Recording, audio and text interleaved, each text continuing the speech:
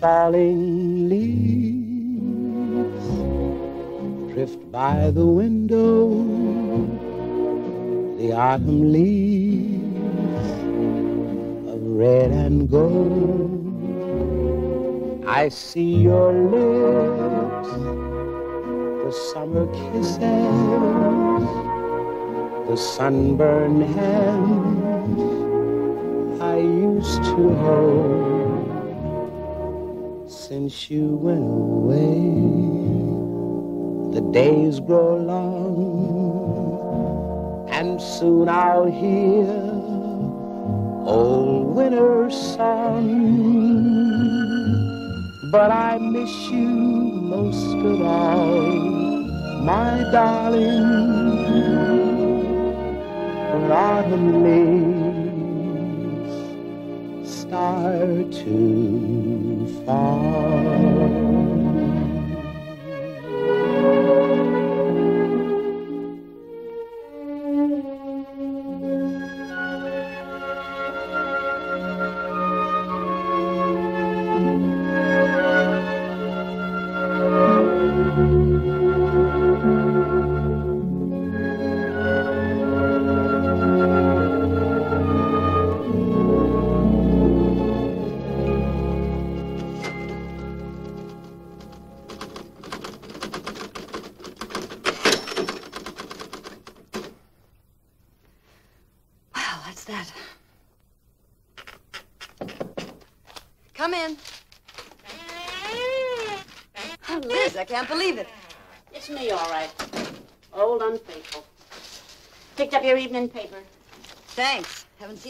Where you been? Wintering in Monte Carlo? I've been working day and night, just like you, Millie. It's good to see you again. Be with you in a minute. Make yourself comfortable. Okay. Present for you. Sorry I ain't had a chance to socialize much. But I've been hearing you type yourself silly. It's one of those rush jobs. He's coming by to pick it up any minute. What's this? Well, it's a bundle of typing somebody dropped off for you. Left it with me by mistake. I'm glad someone made that mistake. Brought you over here. You don't want to be one of those people who drop by once a month just to collect the rent, do you? If you're going to behave like a landlady, then I'll have to treat you like one. I'll complain again about that squeaking door. That's life. If it ain't a squeak, it's a squawk. You sit right where you are, and I'll fix us both a cup of hot tea, and we can drink your squeaks and squawks away. I wish I could. But I ain't even got time to breathe. I gotta rush over to see my brother again. Did you ever meet him? I don't know, did I? The one who married that blonde Payne from Alabama? Tall and skinny, but all muscle? My brother, I mean. Well, at least you have a family. That's something you can't win on a quiz show. Those guys are never late. Come in, Mr. Ramsey. Good afternoon. Good afternoon. If I come too early? Nope, it's all yours. Oh, that's great. Simply great. It's all finished. 126 pages. Isn't it great? How should I know? I ain't read it. I mean, Miss Weatherby's speed. It's, it's incredible. Now I can get this to my publisher in New York over the weekend. Gosh, I don't know how to thank you for this special effort. I'd like to give you something beyond the customary fee, but Please, Mr. Ramsey, there's no need for that. You always pay your bill on time. I'm glad you're happy. wait. Here. Two tickets for tonight. Of course, I assume you like good music. Oh, I do very much, but uh, thank you, no, I, I couldn't accept them. Well, my lady friend doesn't care much for that music. Uh, please? Please. Oh, Symphony Hall. This is very kind of you, Mr. Ramsey. Not at all. I, I hope you'll enjoy yourself. Thank you. Oh, yes. Gee, I never thought this would come out to 126 pages. Well, goodbye, everybody. Goodbye. Your manuscript. Of course, I'm sorry. Thanks again. Let me see those tickets. Second balcony. Why, that cheap crumb? Liz, whatever you're going to say, you're wrong. He's just poor. This is a very sweet gesture. But the second balcony. Any higher and you'd get a nosebleed. Uh, you're the undefeated world's champ when it comes to believing these chiselers. He could at least ask you out. Or did he just want to save the bus fare? He almost did ask me out once. Well, now, ain't that something? What stopped him? What? That's the story of my life these last ten years. He was so sure I was all tied up with so many of my, as he put it, gentlemen friends. What gentlemen friends? Liz, didn't you see that mob out there waiting to take me out? Hey, what kind of tea do you drink? I've been told so very often, you're so attractive, so lovely, so this, so that. Then they assume I'm all tied up. All tied up. Makes me feel like I'm a package, and I'm left alone. With my typewriter. If you ask me, you give him the brush off. But don't ask me why. Maybe I'm just too choosy. Maybe you're just plain scared. Whatever the reason, I have two tickets for the second balcony tonight. Be my guest? Thanks, Millie. I'd love to, but I can't for nine reasons. First, I just can't stand that kind of music. What happened to the other eight reasons? Then there's my brother. That did it. I'll go alone. I'm going to get out of here and make a night of it. To each his own. Well, anyway, it's better than sitting here holding hands by your lonesome. Believe me, I ought to know. I'm an expert on being alone. Yeah. I've gotten used to living alone, too. That's why I'm going to get out of here. To the recital. I'm going to Symphony Hall and have myself a ball. Gardenias, gardenias, one dollar. Gardenias, madam. Is it possible to exchange two balconies for one orchestra?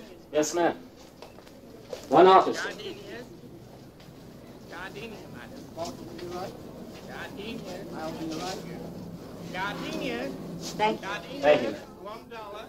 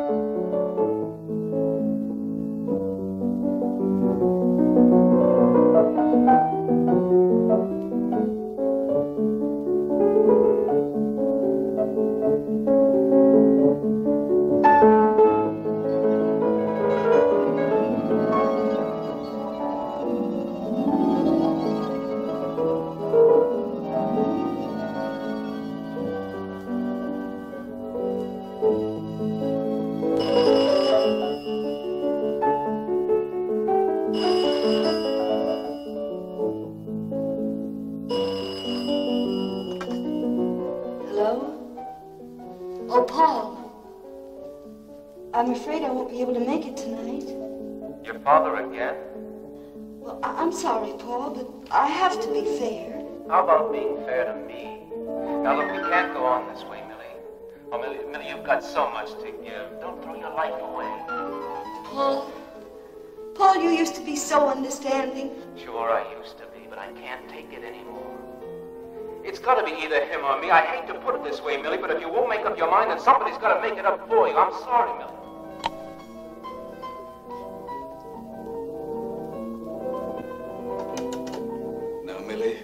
I want you to go out. I don't want to be the reason for you breaking every date with Paul.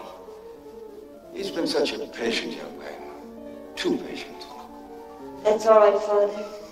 You'll be getting well soon. Then we'll all make up for lost time. You're a good daughter, but I'm not getting any better.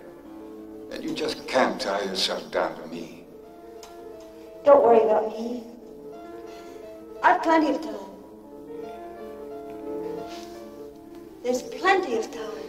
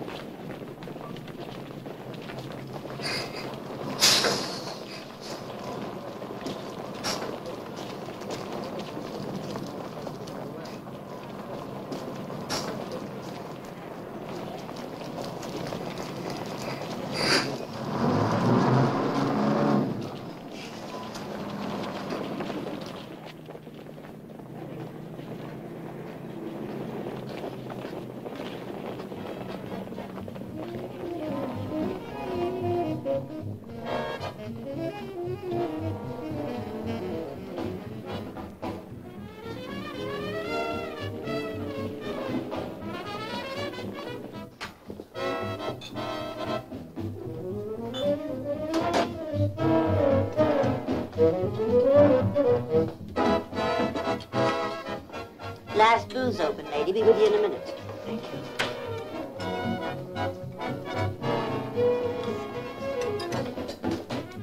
You'll have to wait a minute,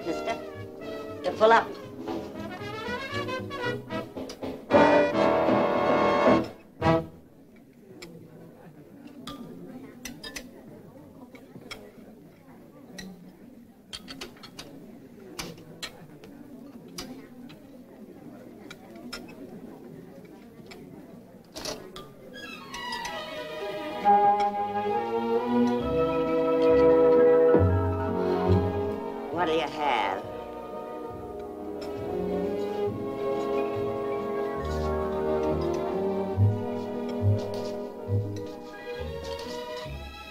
Anything that's quick. Uh, t- chicken salad, no bread. Anything to drink? Tea, coffee, No, milk? thank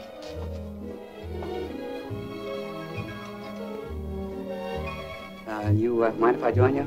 Please. I'm awfully sorry. I'd prefer you didn't.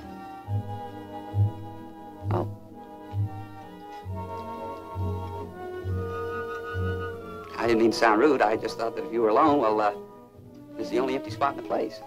Empty except for you, I mean. I'd still prefer you didn't. I only asked because there's really no other place to sit down. Well, I'm, I'm accustomed to sitting. I mean, I prefer to sit alone. Oh, that's all right. I can wait for you to finish your salad. But I don't want to. I'd have to gulp it with you waiting. No, no, don't do that, please. You just take your time. I can uh, stand. You get used to standing in the army.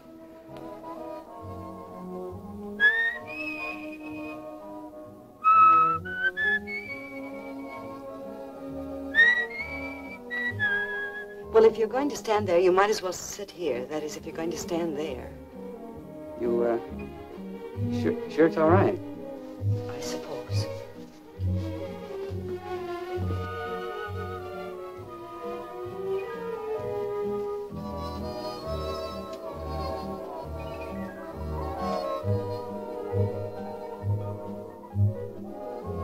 Know something? You're lonely. Lonely? I think you're being rather presumptuous. My private life is personal. I'm just stating a fact. You can correct me. I'll stand corrected. But, uh, sitting down. Joke. It's no disgrace to be lonely. Nowadays, everybody's lonely. Look, I'm tired and my feet hurt. That is why I'm glad I'm sitting here. I'm glad because you look like somebody I'd like to talk to, to listen to. Really? Mm-hmm. But you know what I see in your face? Fear. Why? Because you don't know me. Now, that sounds reasonable, but, but frankly, that's cockeyed. You shouldn't be afraid of me. Well, I think it's merely a matter of opinion. I think. I don't know what I think. I'm sorry, I'll keep quiet. I, I won't talk anymore if you prefer. I do prefer.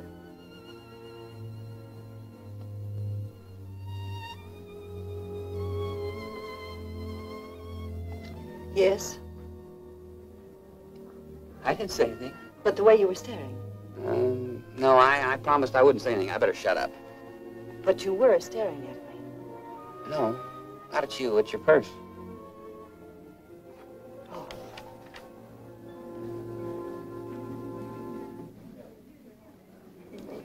You're the one that played that song, aren't you? Yes. I like your taste in music.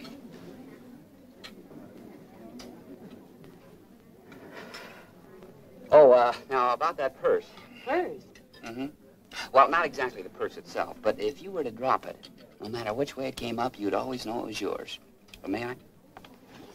Up, down. Either way, it's always the same. M, W. Well, is that a reason for staring? Mary Walker. I beg your pardon? Mildred Williams. Oh, Am I right? no. Well, not Martha Washington. no. Millicent Weatherby. Millicent Weatherby. Millie? That's right. Bert Hanson. Formerly Sergeant Hanson, the United States Army. Oh. How do you do? How do you do? Well, what are you gonna have? Um, the same as Miss Weatherby. Uh, quick chicken salad. Right. Except now we don't have to go. Do we? No. So, relax. Am I tense? Mm-hmm.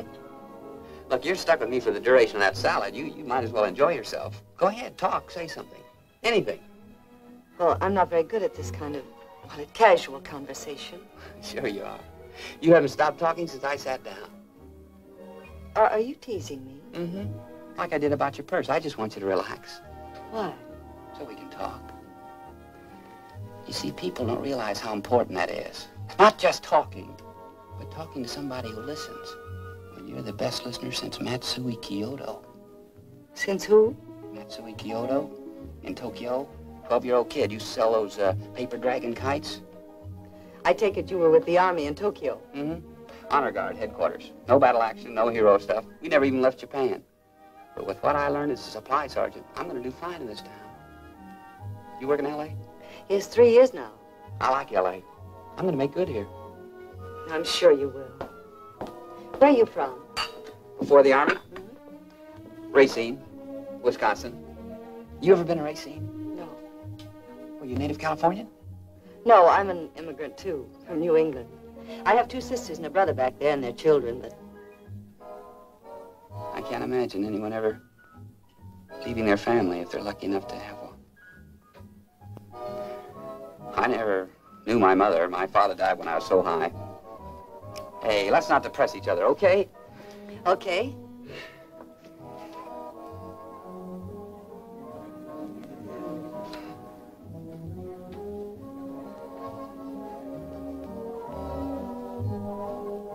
Then there's the other side of it. A fella sits down next to you you've never seen before. All you know about him is he spent a couple of soft years in Tokyo and kidded you about your monogram purse. Now all of a sudden he's trying to show off and pick up the check. And that's the kind of a character you've got a perfect right to be suspicious of. Frankly, I think our relationship will last a lot longer the first time you pick up your own check. Okay?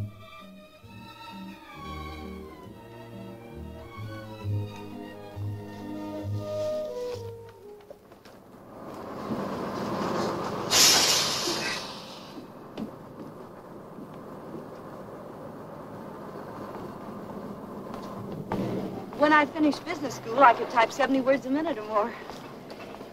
Then came the secretarial jobs. But I don't know, I found it more fun to work at home. I like the feeling of independence. Maybe it's just my New England heritage that I'm so frugal. Living and working in the same place means you only have one rent to pay. My, I, I haven't stopped talking since we left downtown, have I? And the way you've listened. You're not polite, you're heroic. Oh, don't worry about me. Live and laugh, that's what I always say. Agree? Sure you do. Hey, this is very nice.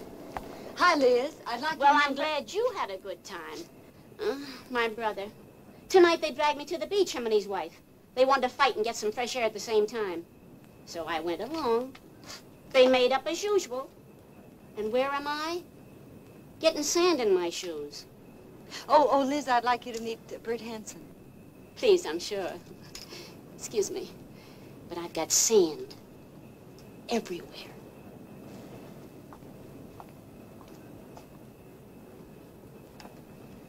Who's the character? Liz Eckhart. She's the manager. She always dressed for Halloween in the middle of the summer? That happens to be one of her most conservative outfits. I'll tell you something about her clothes, though. They grow on you, and so does she. This is it, huh? Mm-hmm. This is it.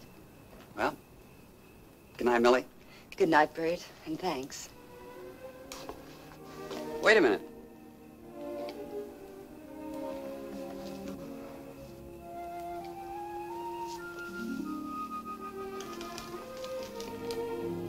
Can't end a date without giving you a present. Hey, you're your own boss, aren't you? Why don't you give yourself a half day off tomorrow? Oh, I'm not used to taking time off when there's work to do. Well, you could give yourself a break. And do me a favor at the same time. We could go to the beach, okay? That would be very nice. Oh, that's great. I'll pick you up at noon. Goodbye, Millie. Oh.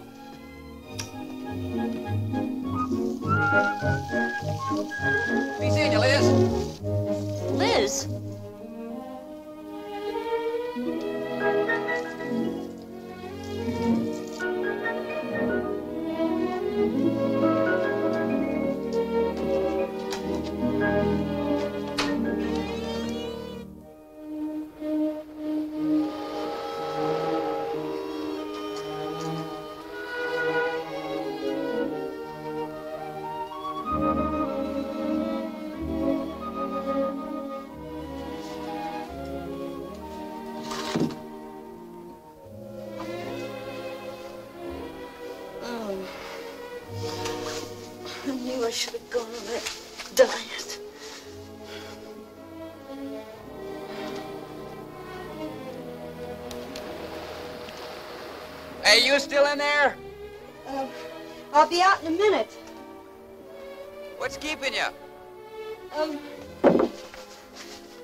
Hey! I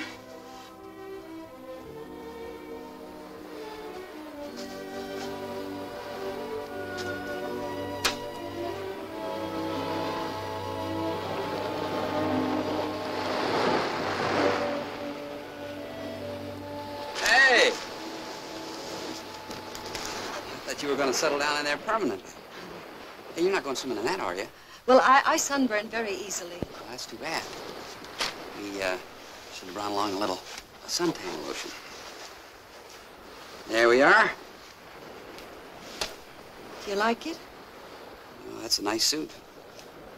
But then look who's in it. Come on. Glad we came on a day when there are not too many people, aren't you? Hey, wait a minute, Millie. In case any of those photographers want your picture for the Rotogravure, we don't want them to know that it only costs $12.95 when it looks like a million.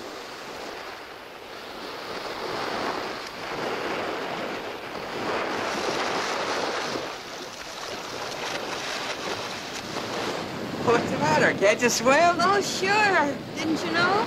I was the first woman to swim the English Channel both ways, underwater. well, come on. Follow me. I'll teach you how. Come on.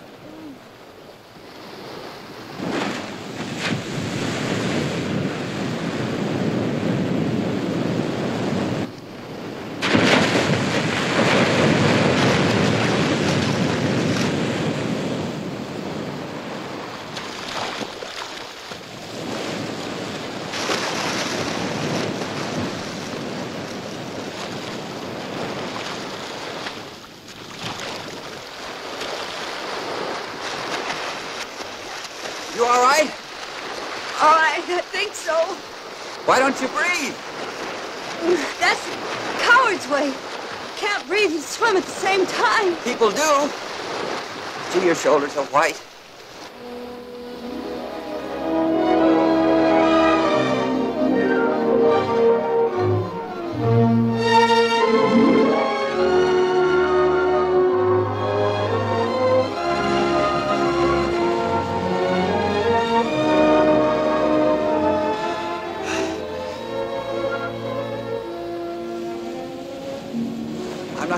Back here till, till you learn how to swim. It's too dangerous. I don't know what I'd do if anything ever happened to you.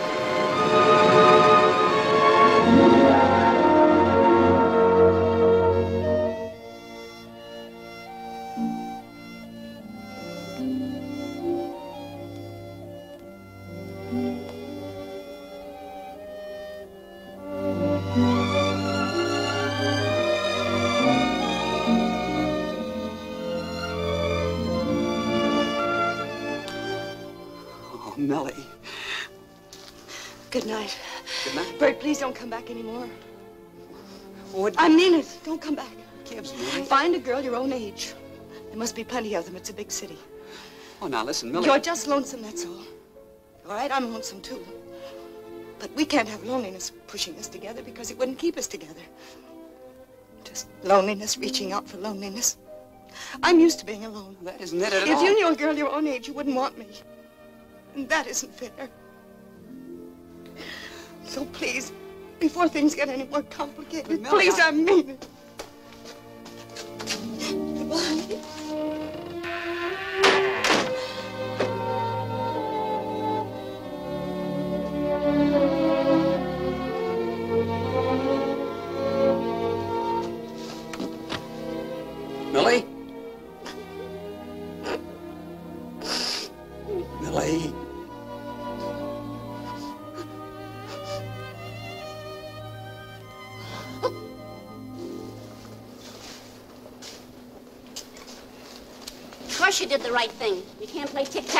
Personal feelings. That's disaster.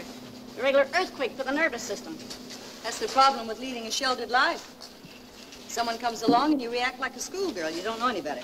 Then the first thing you know, you've made a fool of yourself. And at my age, that is not very becoming. Oh, forget it. You've got the whole future ahead of you. The only trouble is with the future is it comes so much sooner than it used to. And while you're at it, forget about Bert, too. You say that as if you were reading my mind.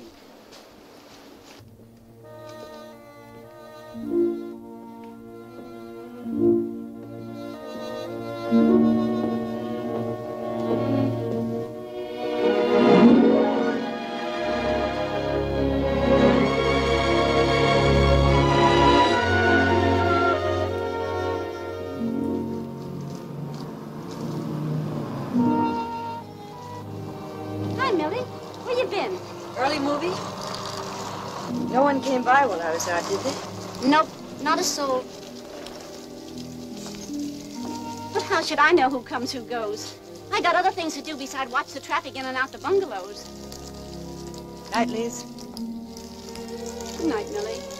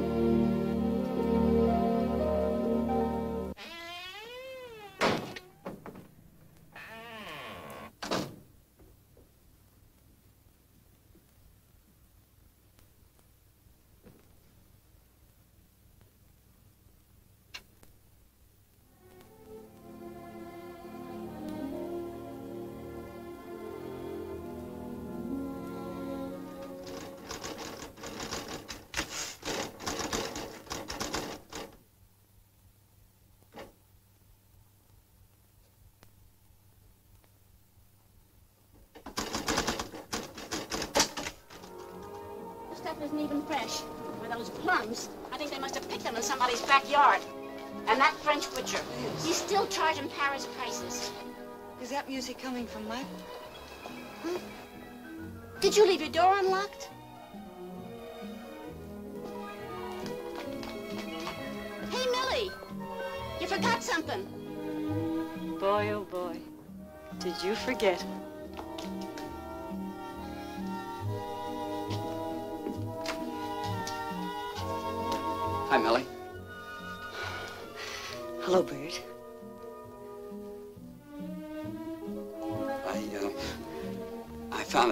So I just came in and waited. I'm glad it was unlocked. You are? Well, I, I wouldn't want you climbing through one of the windows. Some of the neighbors might not understand. Well, I think I, I would attract less attention coming through the window than I did coming through that squeaking door. Gosh, you sure look nice, Millie. Oh, I stole this for you from your garden. Thank you for the flower and for the compliment. You always were a very gracious flower thief. You like the new record I got you? Very much. Isn't it strange how that lovely song reminds me of chicken salad? You know, we never did dance together.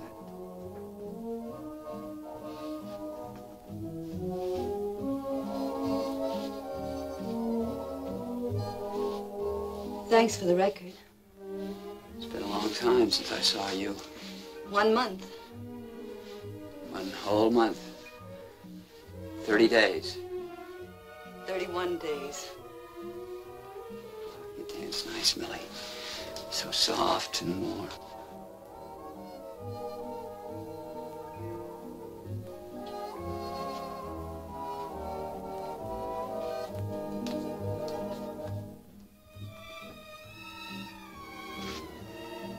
I say something wrong? No, it's just that we were forgetting to dance. Don't be so frightened, Millie. I'm not.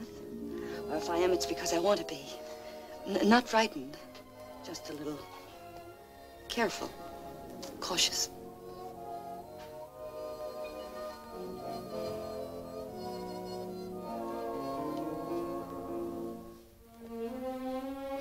Well, what's new with you?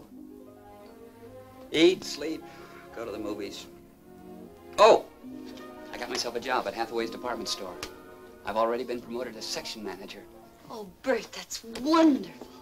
At this rate, you'll soon be president. Then you won't have any promotions to look forward to. When did all this happen? Today. Today? Then what are you doing here? You should be out celebrating. Well, I...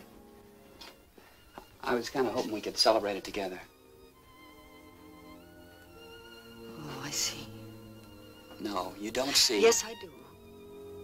Bert, in, in some way, you feel obligated to me. I know what I feel. Because I was company for you when you were alone. But with your new job, you don't have to be alone anymore. That's all over. Millie, I, I've met a lot of people, but I'm still lonely.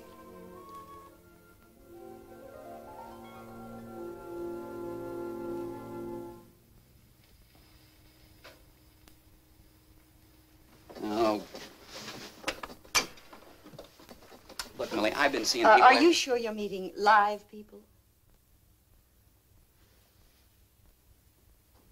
Well, they walk and they talk. Oh, Millie, I, I followed your advice. I went out on dates. I just found that young people are too young for me, that's all. I took out a girl from Lady Sportswear. Found out she was secretly in love with Gregory Peck. She had his autograph, so we sat and stared at it for one whole evening, like some mystic ceremony. Now, can you picture that? Yes, of course. You see, I'm in love with Gregory Peck, too. Matter of fact, I resent this girl's interfering with my secret love. Yeah, well, you can joke about it. And there was that girl from uh, Accessories and Leather Goods. I took her out, too. Ha! Oh, it couldn't be that bad. It was worse. She was a bubblegum addict. She was a what? A bubblegum addict.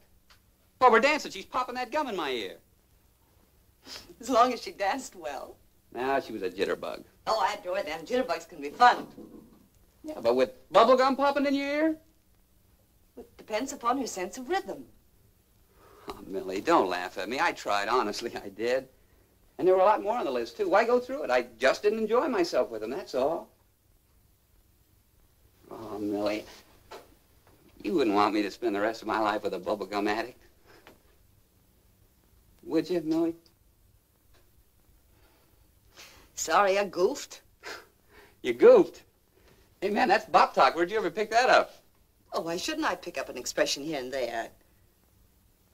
I'm not that old.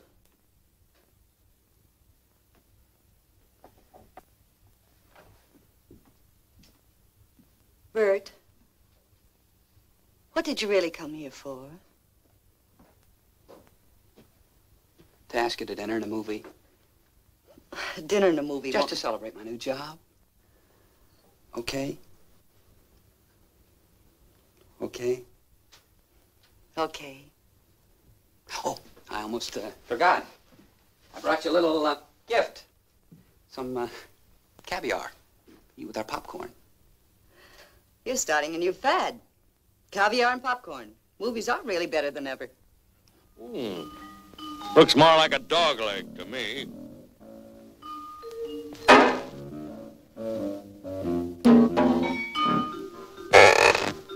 Oh,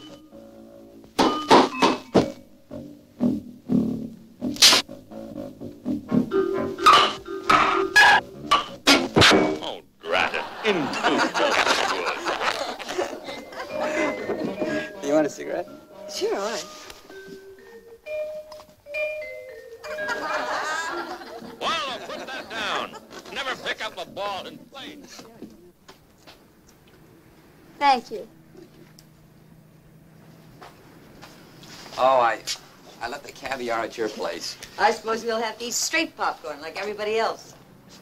Mm, I love the smell of that. Look, Millie, I, I've got something important to say right here and now.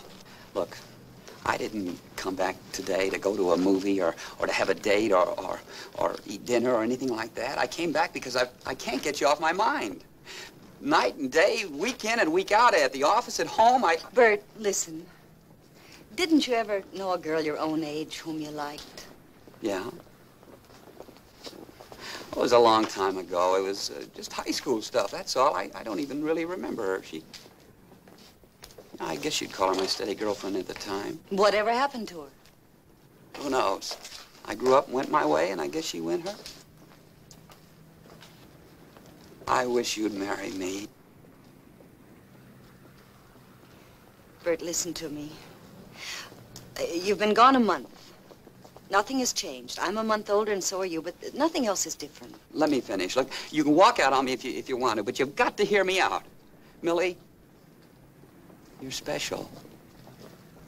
You're like no other girl I've ever known or ever expect to know. You're so special, I'm afraid to say it, but I've got to. No, no, you don't, darling. Not really. You don't know how much it is, really. Look, Millie, I want to spend the rest of my life with you. No more being alone for you or for me. But I've got to know tonight whether you want me or not, because if you don't, I, I've got to stop this phony dreaming. I just can't, can't keep it up, that's all. Bert, listen to me and listen carefully. You're, you're mixing up things. You're confusing a need for me with, well, I, I don't know what, but that's all it is, Bert. Just a need. But you mustn't let it drive you into thinking impulsively, or you mustn't let it make you do anything impulsively. Let's look at it this way. We met, you were filled with a need, I was filled with a need. But people don't, well, they shouldn't go around getting married because they're lonely, simply because they need each other. But it can also happen like this. Two people meet each other and right away they know. I love you, Millie. Love me? I love you. And if you'll take a chance, I mean, will you take the chance?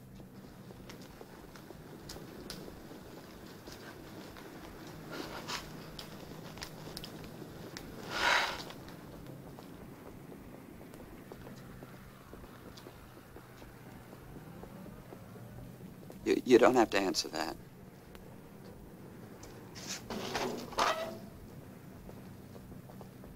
You want to go back and see the rest of the movie?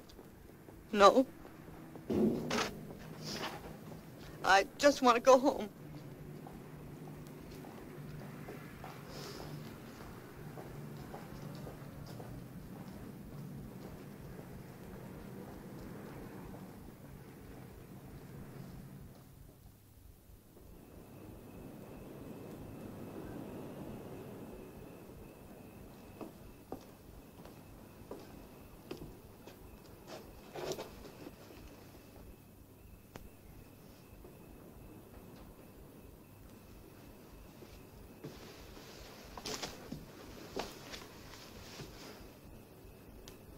Mind telling me why you turned me down? I'd honestly like to know. Look, I, I tried to tell you once before. I'm older than you are. It's just too much, that difference. It isn't because I don't like you. Of course I do. That's not the reason. Thanks for trying to make it easy on me. Oh, it is the reason and the only reason. Just couldn't work. I've got my nerve asking you to spend the rest of your life with me. Bert Hanson, big deal. Big nothing.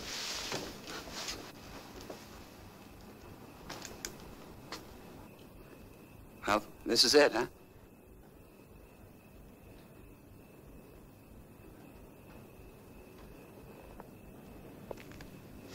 Bert?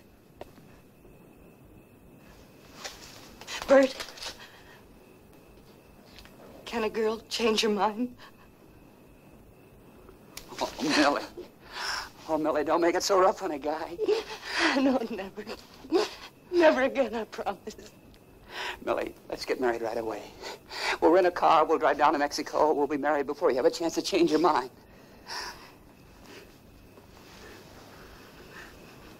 I'll pick you up at eight. Okay? Okay. You'll never, ever be sorry. I won't be. I hope you won't be, but I never will be.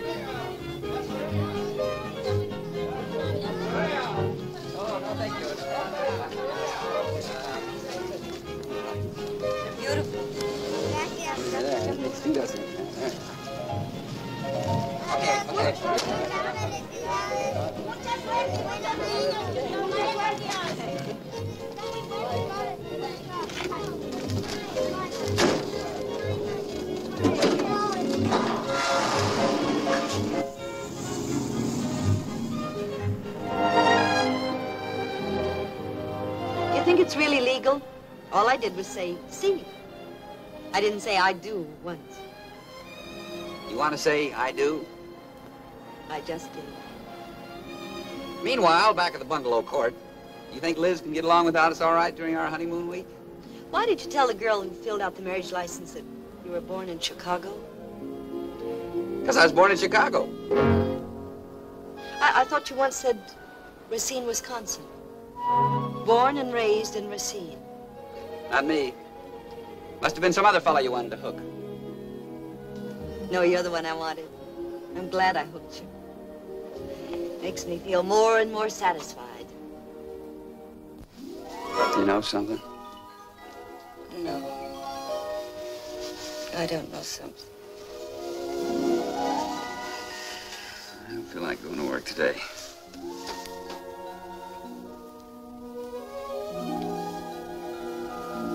How about that orange juice? Orange juice. Breakfast now being served. Dining car, two cars in the rear, lady. Now I know why you married me. For my cooking. You're, uh, cooking? My cooking. That's a good one. Canned orange juice, instant coffee, and I'm still trying to find some canned buttered toast. I'll tell you what I really like about you. The way you sleep at night. With your nose all crinkled up. I could strangle you the way you pull the covers off me, leaving me cold and shivering. When I look at you in the morning, I can always think of reasons not to go to work.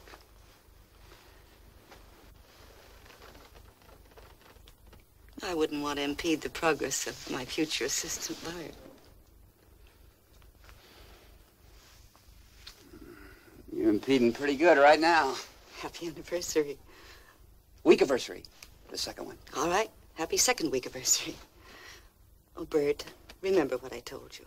Don't bring home any more presents. Yes, Mrs. Hanson. Of course, Mrs. Hanson. Indeed, Mrs. Hanson. Well, you, you are Mrs. Hanson. I mean it, Bert. About the presents. We've been celebrating all week. First the candy dish, then the portable bar, and then the... We won't have any money to go anywhere. Sure, we will. I don't have to pay for the stuff. I just signed for it. It comes off my next paycheck. You don't have to pay for it this week, Bert, but you have to next week. But it's this week we're going to celebrate. Hello in there. Here, here. We said he'd come by early, but not this early. Come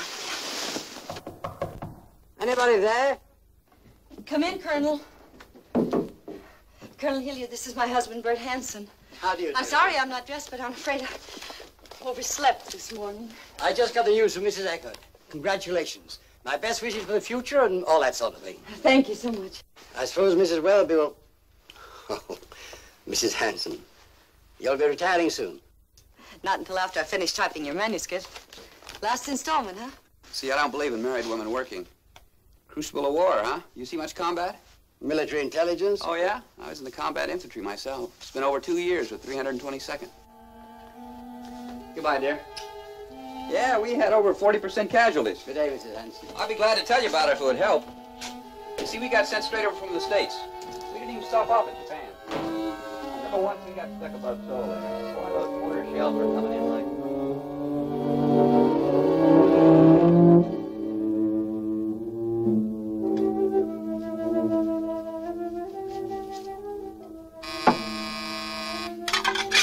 Come in, Liz.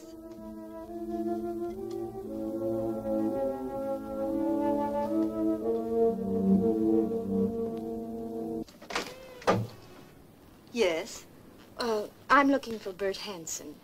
I'm uh, Mrs. Hanson. Can I help you? Oh, it's very important I see Bert. Is he in? Bert? No, he just left.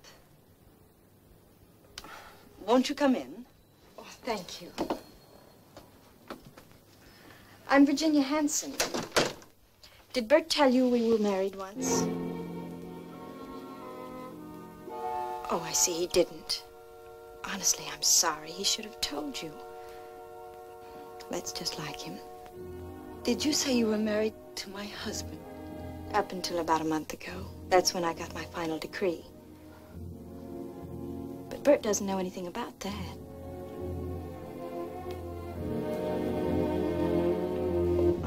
You look sick. Won't you sit down, Mrs. Hanson? I'm a little confused. I know how you feel. I was married to him, too. You must be mistaken. After all, the name Bert Hanson isn't a very unusual one. Bert couldn't have changed too much.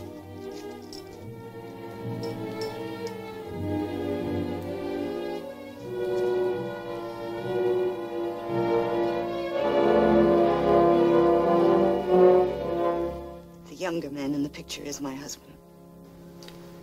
The other man is Bert's father. Did he tell you anything about him? Only that he died several years ago. I can see he's very much alive. As a matter of fact, I bumped into him the other day. He's here in Los Angeles on a vacation. At the uh, Chapman Park Hotel, I think. Were you, uh, were you married in Racine? Why Racine? We're from Chicago. That's where we were married. Please bear with me. I... How long were you married? Four years. We'd known each other for a long time before that. We went to school together. Everybody kind of figured we were natural, especially Bert's father.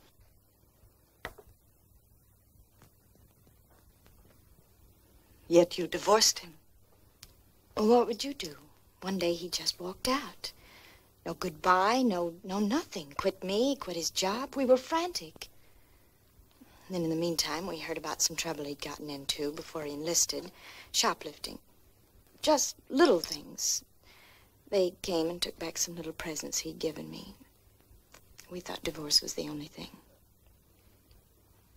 You, you keep saying we. Well, Bert's father. He was really going crazy. He made good to the stores. He's a wonderful man. Bert's father, I mean. He's very kind and considerate. Obviously, you came here for a reason. Well, yes. I'd, I'd like Bert to sign some papers. His father gave us a small piece of income property as a wedding gift, and I'd like Bert to sign a property settlement. I'm sure he won't mind. The envelope is addressed to me, and I- I'm staying here with some friends. If when he signs it, you'll just mail it to me. I'll see that he gets them. I hope there won't be any trouble. There won't be. Thank you again. I appreciate it very much. I- I'm sorry. How did you find out about Bert and me? Uh, we. We had one of those agencies, you know. They traced him to the Army and later to Tijuana and then to you. That's when we got the newspaper clipping. You just can't believe a word he says. That's what the police said once when they picked him up. He just lies. Well, thanks again. I, I know how you must feel.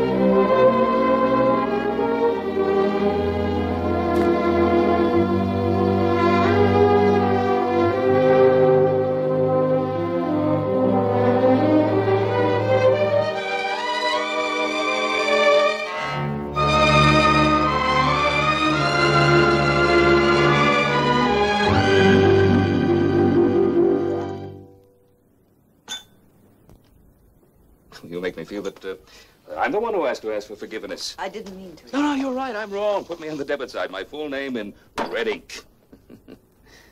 I admit it. I'm a self-educated failure. I don't know what to do.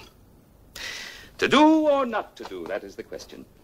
You know, I could spend every night reading the classics.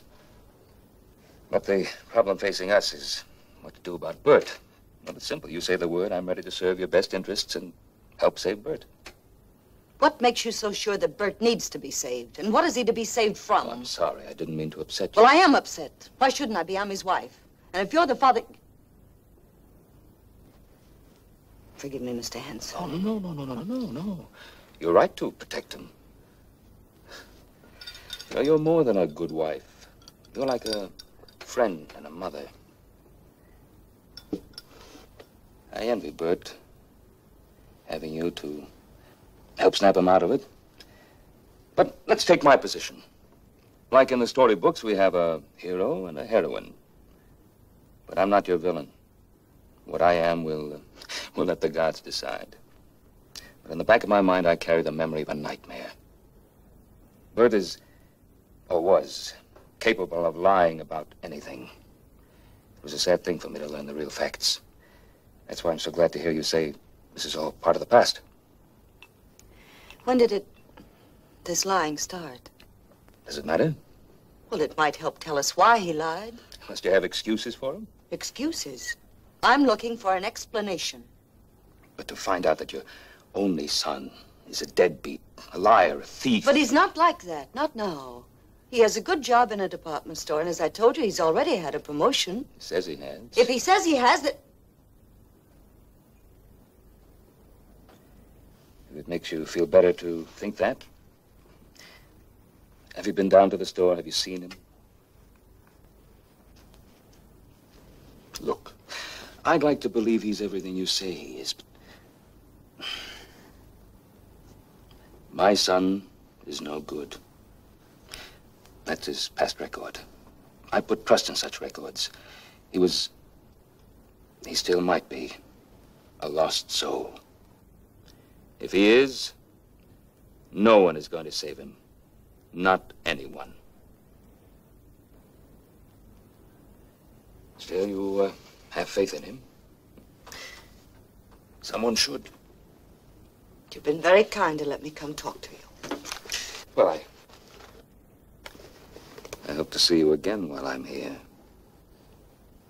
Bert will want to see you. That's what he wants. I want it too. After all, it's a father's duty to be concerned about his son. But what he ought to do, I think, is go to a hospital. You've listened, but you haven't heard one word I've said. Uh, we'll see.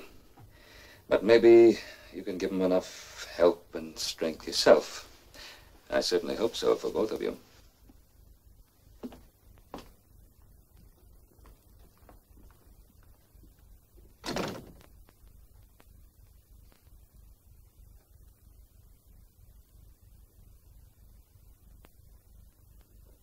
Yes.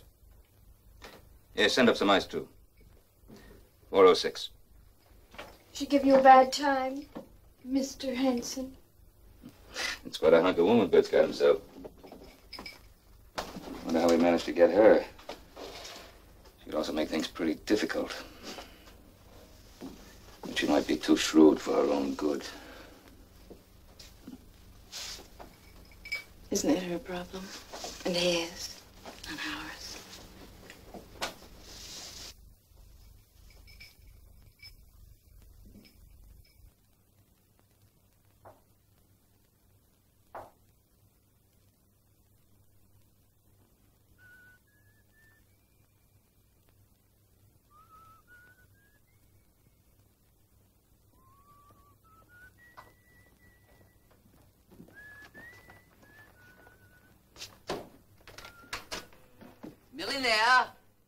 Hanson here. Hi, hon. Picked up so much stuff for dinner, I had to buy a shopping bag to carry it all. I stopped off at that new delicatessen on Wilshire. What are your feelings about uh, salami and garlic pickle? And some beer, too.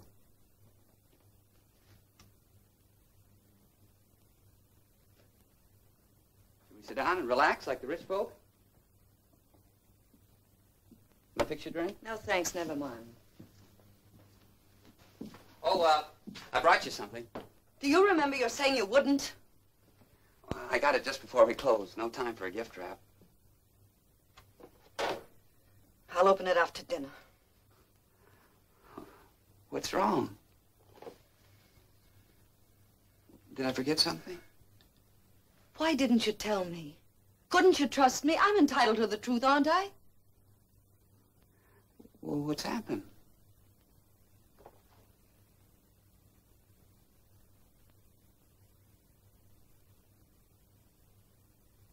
Were you at the store today? Yes, I was at the store today. Oh. I saw you behind the counter. That's very pretty. That's very pretty. My own wife spying on me. But I had to. I had to find out. What kind of a disguise did you wear? Were you dressed as a trusting wife? Did you call the FBI and tell them your husband wasn't a section manager but a tie salesman? Or did you have me photographed at the scene of the crime with a crumpled tie in one hand? Hey, stop it! it! It wasn't nice of me. You're right, it, it, it was an indecent thing for me to do. But I had to find out. Millie. Oh, Millie, I...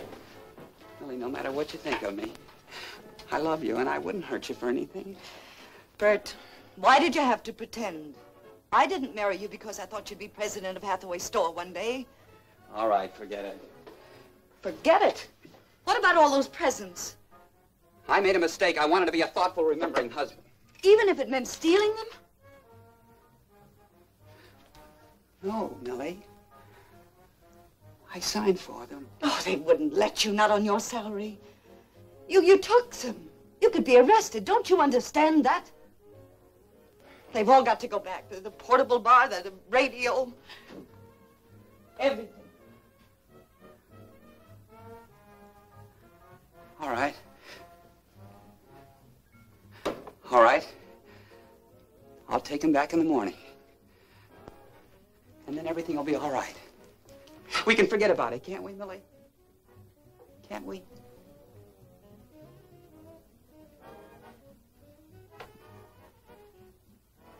Isn't there anything else you want to tell me? Anything at all? What is this? A, a third degree? A quiz game? Bert, what about the past? What what happened to you? What what'd you do? What happened to you before you met me?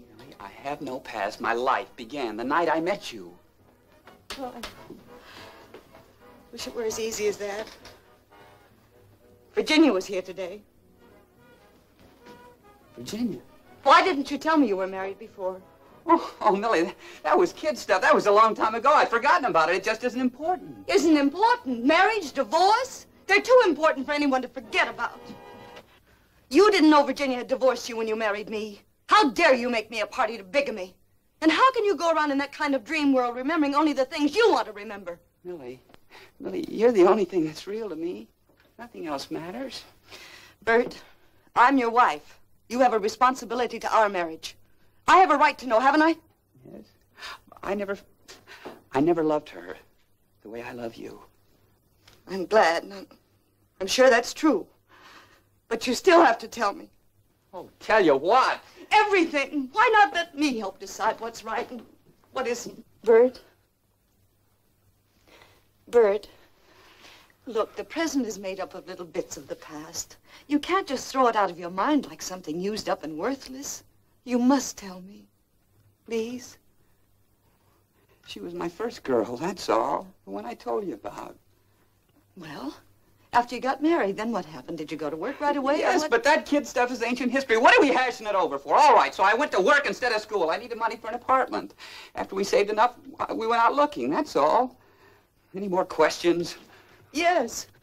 There are more questions. I want to know why you never told me before. The reason I asked Oh, now look, Millie, it just isn't important. Our house was more of a, of a toy house than a real one. Oh, you sound as if you and Virginia never even lived together. Oh, I get it. Now you want all the details, the ugly details, my frank confession. Well, there's nothing to tell. All right. So I got an apartment. It, it had stairs that went from the living room up to the bedroom. It just isn't important, Millie. That's why I never mentioned it. Don't you see? Yeah, I, I guess I see. But wouldn't it be better to mention it now? Then we'll never talk about it again. Wouldn't it be easier that way? Easier for you and for me. Wouldn't it? All right, maybe maybe we did get married, but we were just kids playing grown up, that's all. And then? And then? Yes, and then what happened? Well, I'm not sure. You're not sure about what? I I did a crazy thing one day. I came home and around noontime to give her a surprise present for our six-month wedding anniversary. She wasn't expecting me. I just wanted to surprise her. I figured... I, I don't know what I figured. I, I don't know. You don't know what? Well, I can remember going up the stairs, but I can't rem- remember coming down. What do you remember at the top of the stairs? Think nothing at all. Who was there? Was there someone else? Was there someone with Virginia? No, no, no, Millie. Why do you keep all asking? right, me? all right. Sorry. All right. If there are things you don't want to talk about, don't even want to remember, then forget it. But, darling, why did you tell me your father was dead? My father. Yes, I saw him today. He's out here on vacation.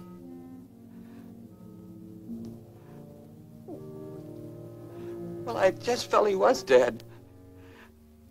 I still feel he's dead. What's everybody trying to do to me? I told him how well you were doing. And that you'd come to see him tomorrow. I'll go with you if you want. Oh, well, Millie, I, I think we're going to be very busy at the store taking inventory, and then there are, there are all those things you want me to take back. There'll still be time for you to see your father. I'll meet you after work.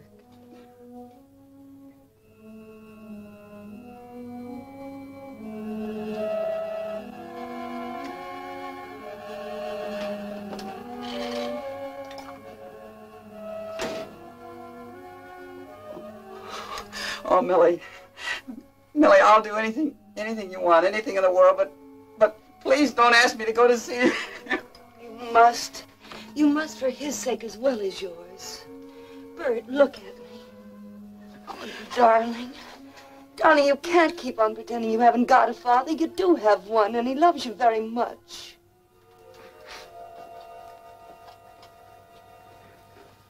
Did, did you say he was alone? All alone, living at the Chapman Park Hotel.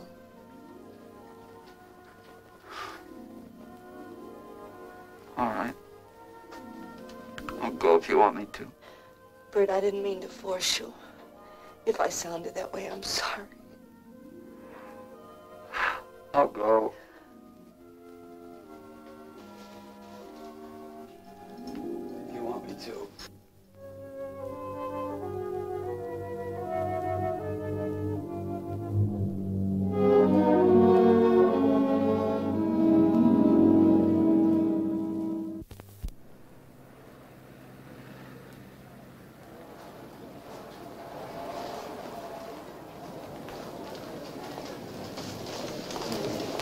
I'd like to see Mr. Hanson.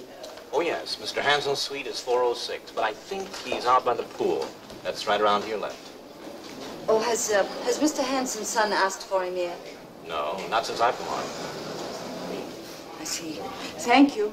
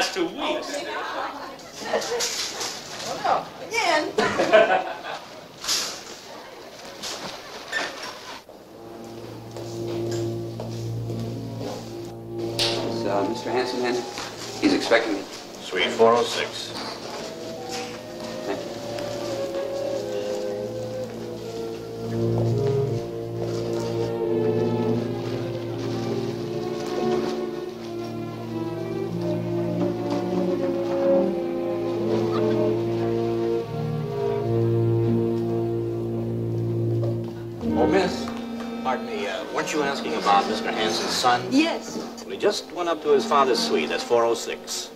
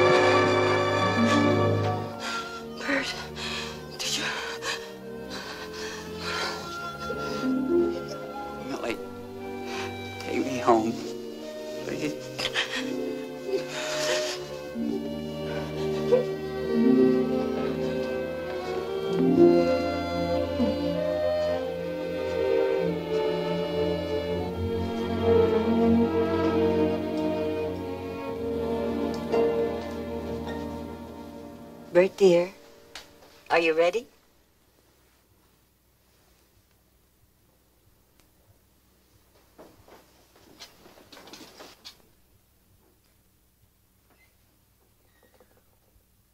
Darling, I asked you if you were ready. Ready? Remember, I told you we were going for a walk. We could use the fresh air. Come on, darling. You haven't been out of the house for days. It'd be good for us to get out of the house for a change.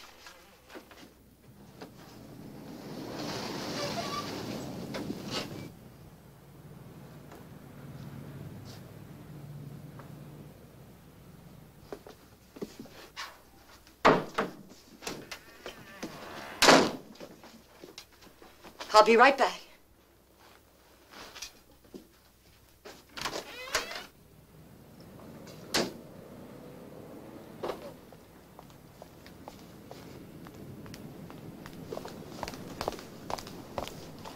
What do you want?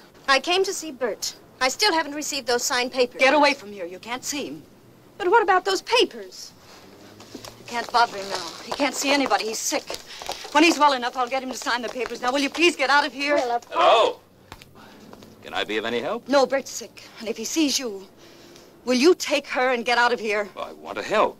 Just the idea of your help sickens me. Aren't you being unreasonable? I won't waste the time, and I haven't the heart left to be reasonable with you, Mr. Hanson. see. Well, you won't stop me from seeing Bert. I've got to get back to Chicago Did you tomorrow. say Bert was sick? Yes. Sounds like a cheap trick to me. I won't have him disturbed any further. He's emotionally upset. Emotionally upset. Oh, I get it. So he finally cracked up. Saw it coming a long time ago. In that case, the situation demands immediate action. I want to protect Virginia's rights. He must sign these papers now. Right now. Or else I'll have to have him committed. And if you try to stop me, I'll have you put in jail so quick you won't know what hit you. It won't be hard to have him declared incompetent, and believe me, I will. Will you shut up? I will not shut up. I want what's coming to me, uh, to Virginia. I'm tired of begging for what's rightfully mine. If necessary, I'll take legal action. Look, you take my advice. The place for him is an institution. You cut off a leg to save a life, or put him away in some hospital or other where he can't do anybody any harm.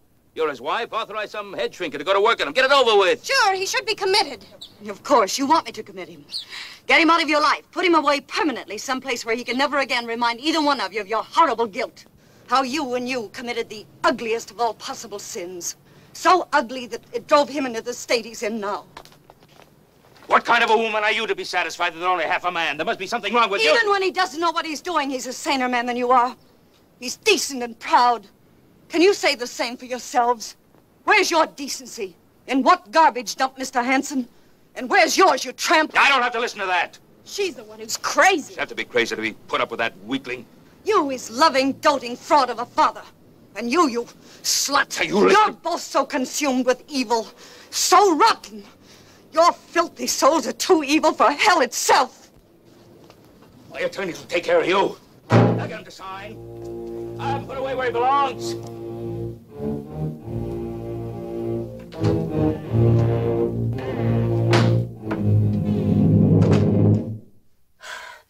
You know, I, uh, I, I was just thinking. We might rent a car and take a drive down to the beach. It might be fun. Don't you think so? Of course, we'll still take our walk. Bert, you're smiling. I thought of something. I've been sitting here for a long time trying to add things up, and now I know the whole score.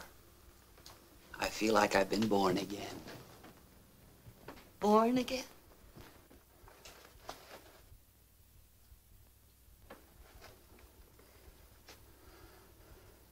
You conniving tramp.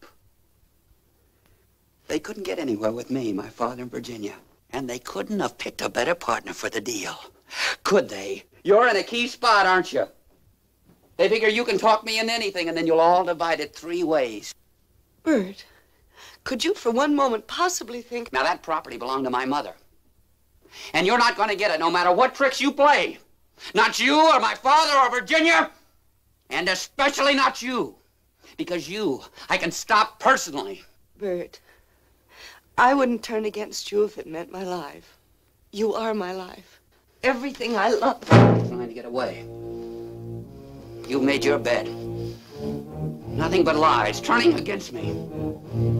You know what you deserve.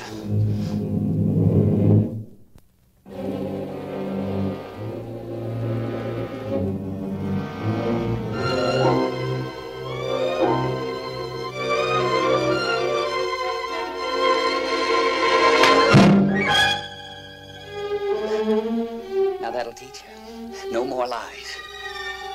I saw all three of you through the door, all lovey-dovey. You think I didn't know? I knew. Now get up. Don't sit there looking innocently. Get up. I told you I knew. I knew it, and now I know it. I know it, and I know it. You're all against me.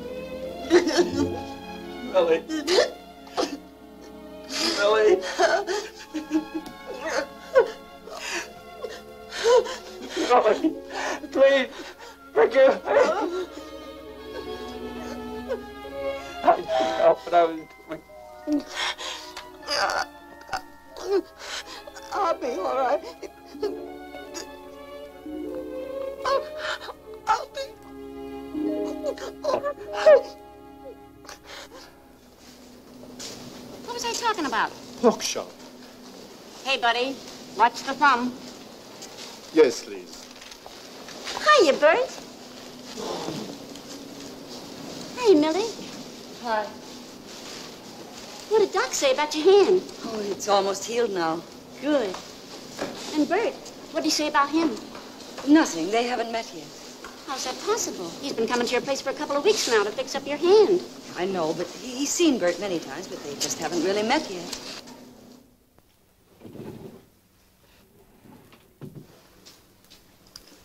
How's Mr. Hanson? I thought he was sleeping.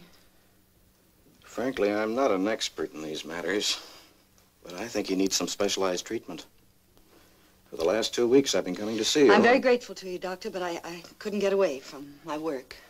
Yet every time I've seen your husband, I don't think he's ever seen me. He's very troubled. I hope you'll forgive me, but I've taken the liberty of discussing him, without mentioning any names, of course, with Dr. Cousins, Malcolm Cousins, one of the best psychiatrists in the country. I've never had an occasion to know a psychiatrist, and I don't want to. No one ever wants to. But if you should need one, here's Cousins' address, etc., etc. Call him when you wish. Thank you. I'd suggest soon. Well, if that isn't all better by Thursday, you call me. Good night, Doctor. Good night, Mrs. Hanson.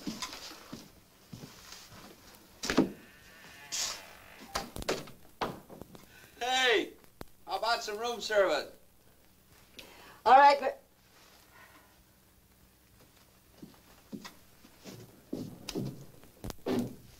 Come on, I'm lonely.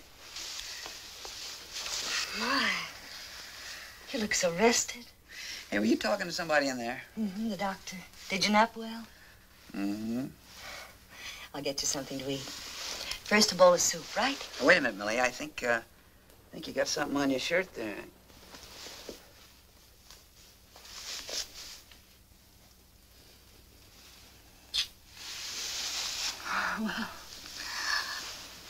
Where did that come from? You must have been practicing. You know, it's a funny thing, like that kiss. I can't remember when we did it last. Seconds? Mm-hmm. Well, get you the soup. Hey, what happened to your hand?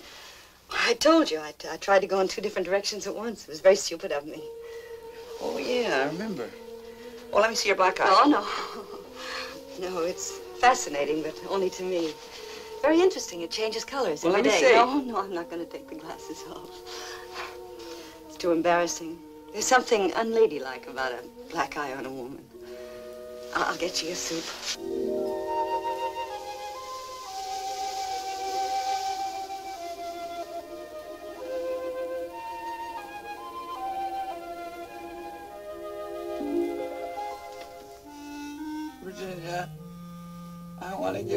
Give you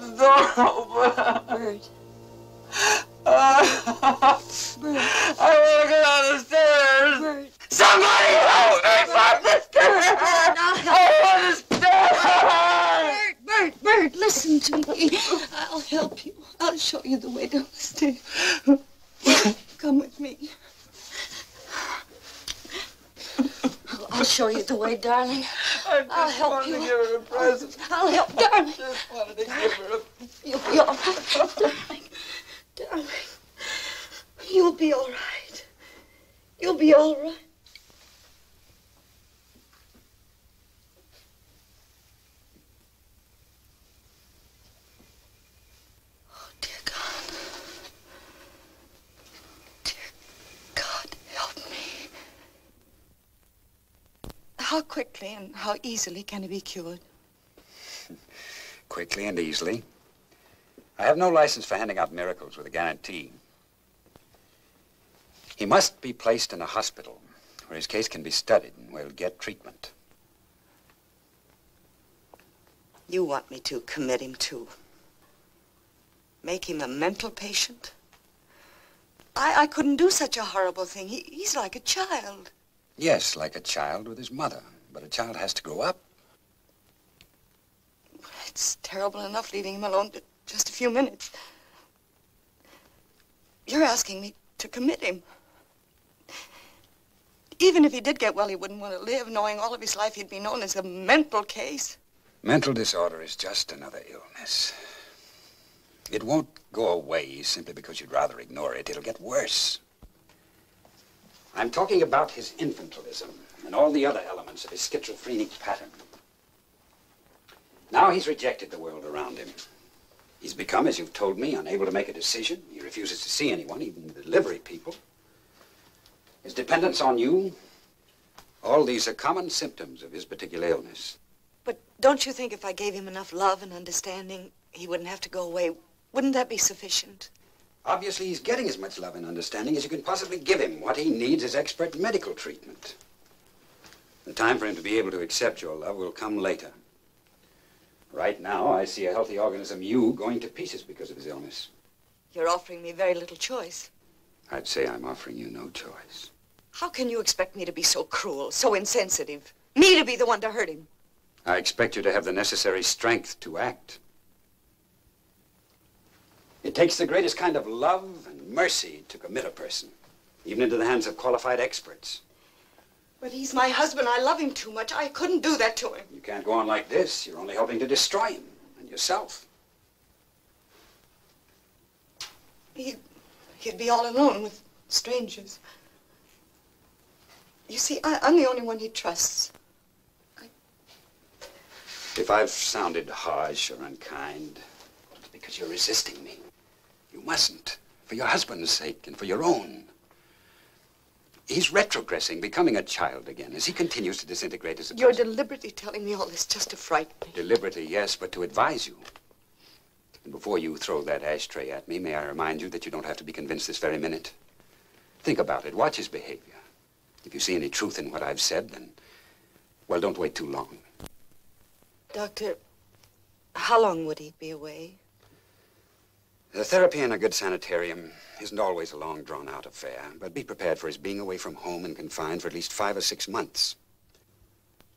I know I've upset you, but then that isn't really important, is it? You're not the patient. Or are you? I thought you'd get around to that.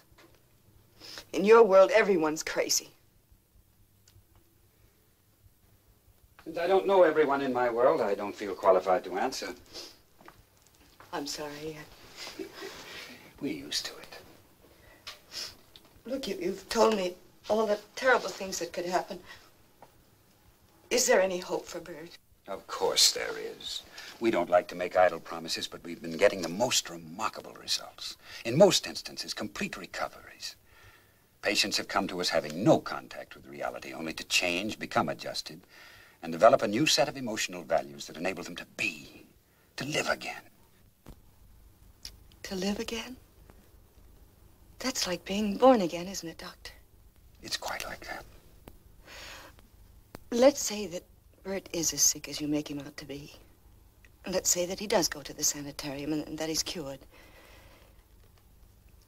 Well, the, the question is, might he come out not, not needing me, not loving me?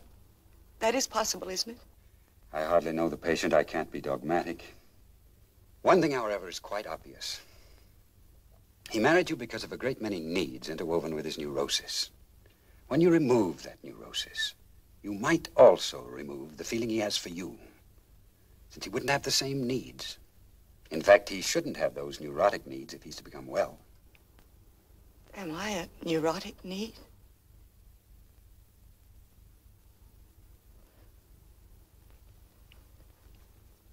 What you're really trying to tell me is that if Bert is cured, I might lose him. Is that right? The possibility exists. But would you rather keep Bert as your husband at the expense of his becoming a helpless psychotic and ruin two lives, your own and his? Or have him return to a happy, normal life, even if it might mean losing him yourself? Do you really think any woman in love could answer that question? Ah!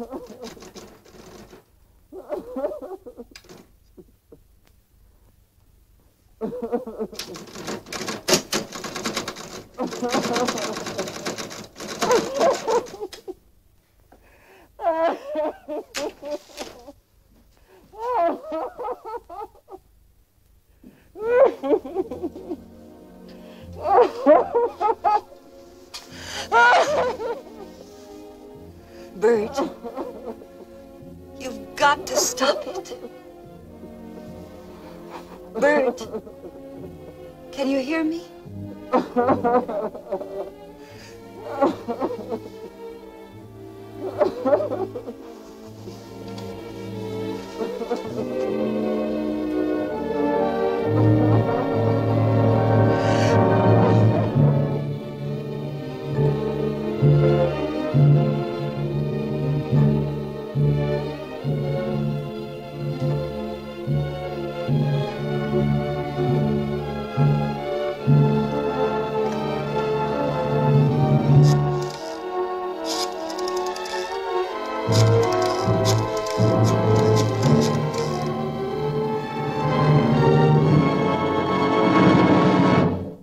Cousins, this is Mrs. Hanson.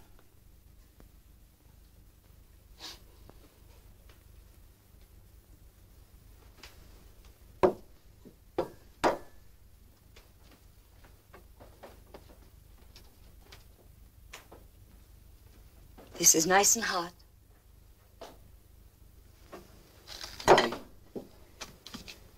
Millie, you'd never leave me. Would you? Darling, I want you to remember one thing. And please try to remember it. I love you with all my heart. But you'd never leave me. Would you? Look, whatever happens, Millie, Bert, you've got to trust me. Oh, Millie, don't let him take me away. I'll be good. I'll do anything you say, but... Oh, I'll do Bert, anything you say. No, no, Millie. Look, Bert, Millie, I didn't do good. anything. Honestly, I'm it all is. right. Bert, you must trust me, any- darling. I'm all right. Take Look, it easy. I really, I'm, I didn't do anything wrong. I didn't do anything wrong. I mean, You did this! I'll get you! You! I'll get you! I'll cut your guts out! She did! I didn't do anything wrong! I didn't do it! I'll get you! Ah, I didn't do anything wrong! I didn't do anything wrong! I didn't do anything! I didn't do anything wrong! I didn't do anything wrong!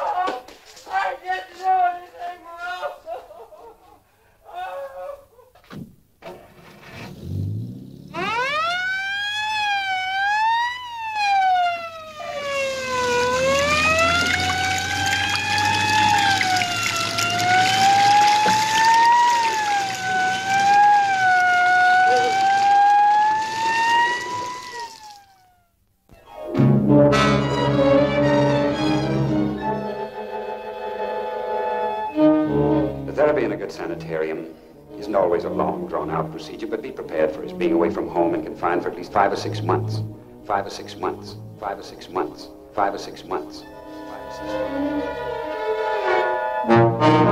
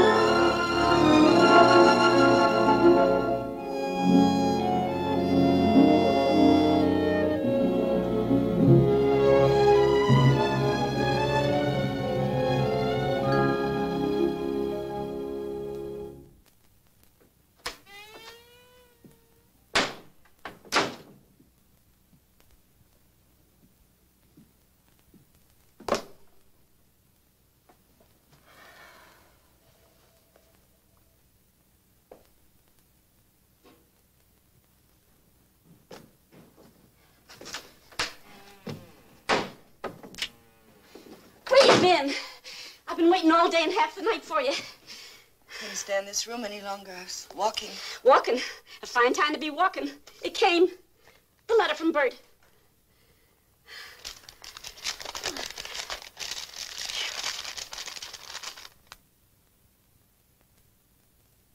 What's wrong? Millie, what's wrong? It isn't from Bert. It's from the sanitarium. It says that Bert will be discharged next Friday, and they ask that I come up to bring him home. Well, that's good. Ain't that good? Why me? Why should I go? They ought to know by now he doesn't want me, doesn't need me anymore. Oh, don't make it sound so definite. The question's still open, ain't it? He never wrote me not one word. Never asked for me, never wanted to see me, never anything. Oh, he's been sick. You've said it a thousand times. Give him a break, Millie. Okay, so now he's better try and help him just once more. Help him to do what? What should I do? Go up there and act casual? Quote, hello, Bert, darling. It's so good to see you again. My, you're looking well. Unquote. Then what do I do? Beg him to come home? And when he says no, what do I do? Smile sadly and walk away into the sunset? You've got to go, Millie. It's not making it any easier, just torturing yourself like this. You're the only one that can find out how he really feels. Nobody can help you now. Why can't they? When do I get my turn? Everybody needs help, don't they? I need help too. Maybe I don't want to find out how he feels. Being in love is never easy. And the more in love you are, the less easy and more lonesome it gets. You're talking to an expert on being lonely. Remember?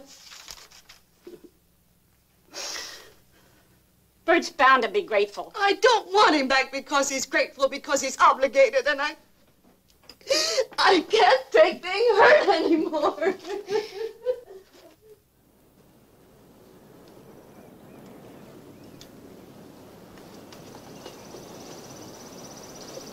And how does your garden grow? Oh, hi, Miss Evans. Say, you know you're looking prettier every day. How do you do it in that, that cast iron uniform, anyway? Oh, I need it to protect me from the x-ray eyes of certain patients. Ah, you're crazy. Who isn't? That's right, who isn't? Hey, now, wait a minute, I'm not. Now, they may be, but I'm not. Well, what makes you so sure? Oh, Scuttlebutt, I hear they're getting rid of me in a couple of days. Isn't that a terrible thing to do to a perfectly normal guy? I mean, take him away from everything he's gotten used to. Rough. But we're not running a transient-type hotel, you know. We need the bed space. Oh, you mean there are other nuts running around here? Please, some of my best friends are in joints like this. Anyway, you're getting your walking papers and diploma today. Now how does your garden grow? Well, with silver bells and cockle shells and very pretty maize.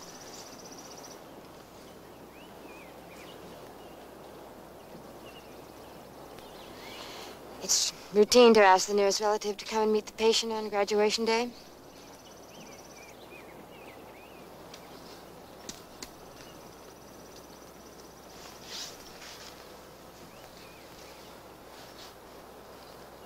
Don't bother to introduce us.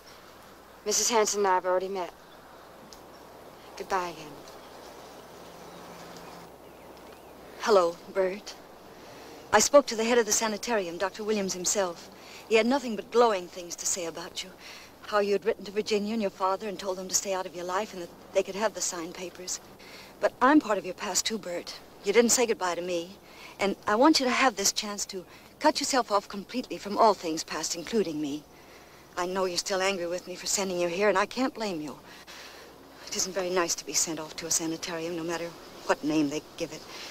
It's unpleasant and, and cruel, very cruel. But when we were together, if you had cut yourself accidentally and were bleeding to death, I, I would have done anything to have stopped that bleeding. I wouldn't ask myself what's pleasant and what's not cruel. And if you're worried about anything, Bert, please don't be, because, well, the, the important thing is that you're well again. I, I told you once I wasn't very good at small talk, and here I am making small talk. I, I, I guess I'm, I'm sorry, Bert. I, I guess I'm just a little nervous about. I, I'm not feeling sorry for myself. Honestly, I'm not. You're free, Bert, completely free to make any choice you wish. I, I won't hold it against you. Not, not for very long, it is. After you left, I, I told myself that life isn't one long honeymoon and that, well, people have to grow up and, and get your happiness like real adults. Now, um, uh, about your clothes, uh, I'll send them. You just leave a forwarding address. Miss Evans is a very pretty young girl, isn't she? A nurse, too. No Miss Bubblegum or, or Miss Jitterbug. Or is she? Well, I, I guess that just about takes care of everything. So I, I wish you luck and say goodbye.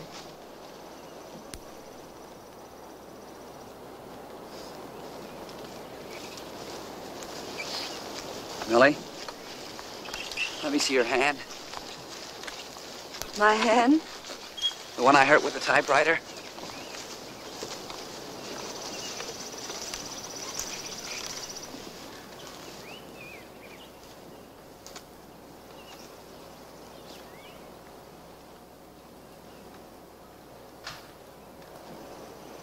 The scar's almost gone.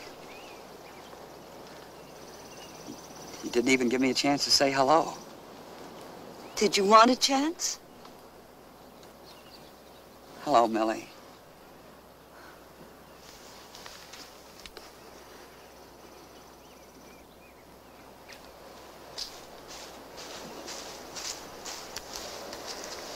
I think people are staring at us. What Do you care? No, let them. Since you went away, the days grow long, and soon I'll hear old winter song. But I miss you most of all, my darling, when autumn leaves start to fall.